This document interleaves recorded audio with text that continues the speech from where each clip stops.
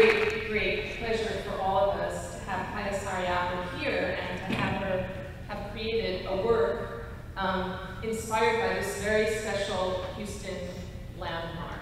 Um, Kaija, when I wrote to you when you first heard about this desire for us to commission you, you already knew about Rothko Chapel, yes? Yes, of course, because this is very famous place, and I, I knew. But to be honest, the first time I heard the name Rothko Chapel, it was when I heard the piece by, by uh, Feldman. And I thought, well, what a beautiful title. And uh, I didn't know that it was place. and, uh, because I, I knew already then Rothko's work, and I liked a lot uh, his work, so I thought it was like a celebration of, of, of work. Well, since we just have a few minutes, I thought we could talk a little bit about the pieces that we're going to hear tonight. Um, first, let's talk a little bit more about Sombre, because it was really wonderful. Kaija came down here with Camilla Hoitenga, the flutist, um, just about a year ago, and already you had a sense of the instrumental colors, but you spent a day in this space with, with Camilla, and, and what did that give you in, in terms of shaping the piece? Well, we came here with the group of, of Camilla because this instrument somehow really became the center color of, of, of the piece, and for me corresponds to Rothko's work here.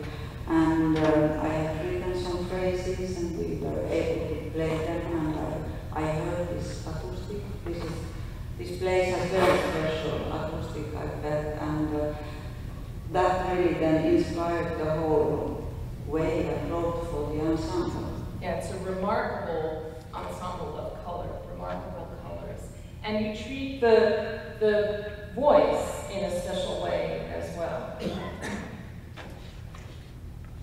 It's not so much a, a setting of a singer. The singer is very much part of the ensemble. Well, as, as every other musician, he's very, he has very large palette of sounds, and, and singing is one of them. And uh, as we all can use our voices very differently, I am asking him to do it also.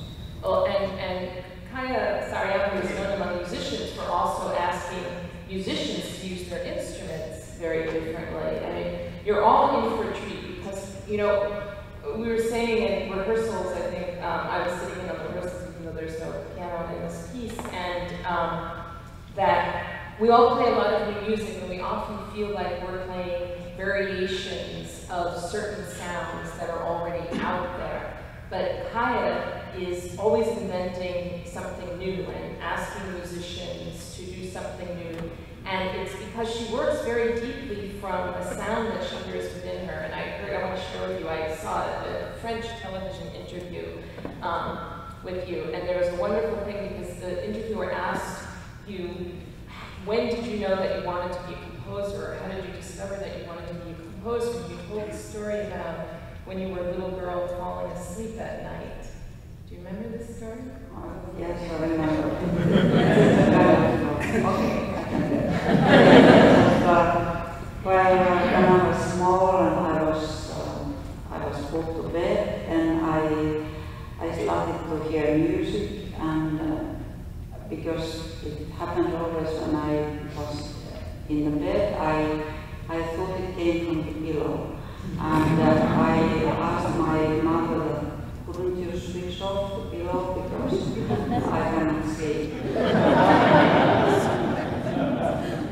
And now in, in when you heard, you heard it in rehearsal here today, um, what, what changes once you hear the piece as opposed to having it imagined, and especially with this piece that it was written for this very special place? What changes? Um, well, there are a lot of little adjustments, you know. You imagine the music in your mind and then you need to find a way to write it on paper.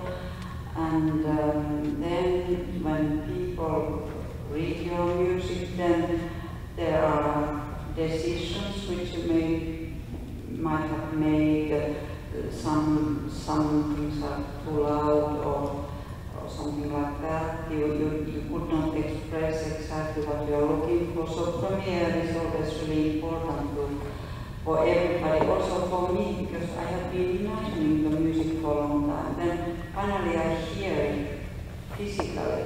So I need to get used to that. Like, in a way, it's like, you know, child being born.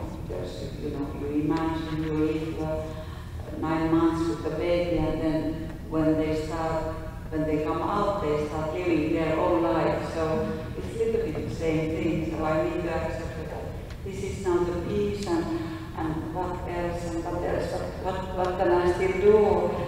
I have a lot of chance and oh, little thing here, you know, this little glass changes so that I, I can feel that, okay, piece is ready and free and uh, free to its life.